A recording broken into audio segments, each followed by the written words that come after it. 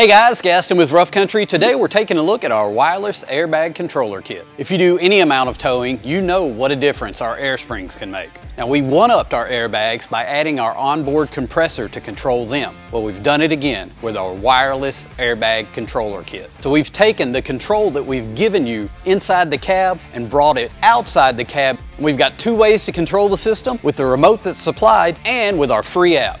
The Bluetooth connectivity gives you the option of adjusting the airbags outside the vehicle while you set up your load or from the comfort of the cab. You can adjust the pressure of each bag individually if you have an uneven load.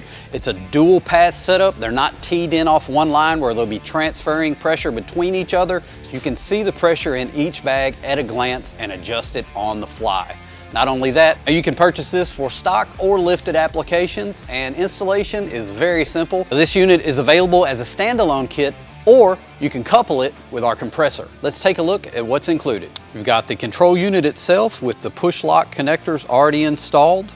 We've got our fully integrated plug and play harness, two different styles of fuse taps so you can tap into your fuse box, mounting hardware for the control unit, our wireless remote, and of course, our free app for your wireless device. And did I mention this is the most affordable air control system on the market?